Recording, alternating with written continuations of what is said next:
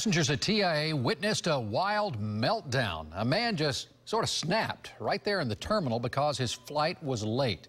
He took off his pants, he threatened to kill a gate agent, and he kicked a cop. And it was all caught on camera. Melanie Michael live tonight at TIA with that story. Mel, I get it. Your flight's late. You're upset. But this? Come on.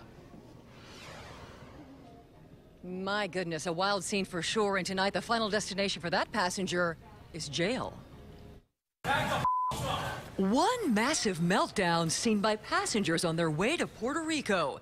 This guy so angry that his JetBlue flight was delayed, he dropped his pants and told fellow travelers he did not have a bomb. No bomb. I have no bomb. What started as a rant ended in a rage. The passenger seemed to snap, saying he didn't want to wait on his flight to San Juan, even throwing his things on the floor. When airport police came quickly, his anger escalated. Then this happened. He kicked a cop in the face. Fellow traveler Lowell Beckner caught the whole thing on camera, saying he knew right away this wouldn't end well.